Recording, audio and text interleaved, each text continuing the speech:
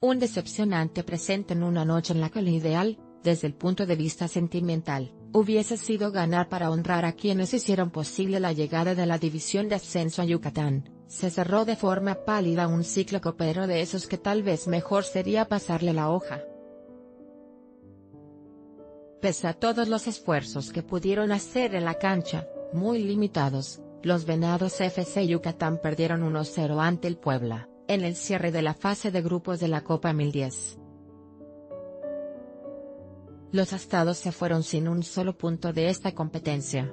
La cuarta derrota en fila no mostró lo hecho en sus dos partidos recientes en patio ajeno. Anoche, ante 3.006 espectadores, a ratos mostraban orden, a ratos, el desorden se tornaba más notorio. Puebla se plantó bien, hizo lo suyo, propuso. Y apenas le cayó una opción la aprovechó.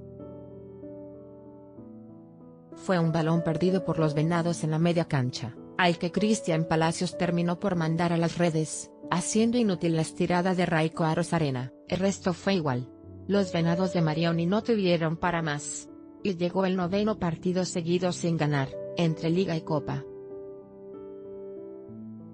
Hace 30 años, los Venados perdieron en su debut en la entonces Segunda División, hoy llamada Liga de Ascenso. Bonito hubiera sido un resultado para homenajear a quienes trajeron esa categoría a estas tierras.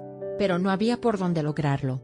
Un trago amargo en vez de una noche feliz, Gaspar Silveira Malaver.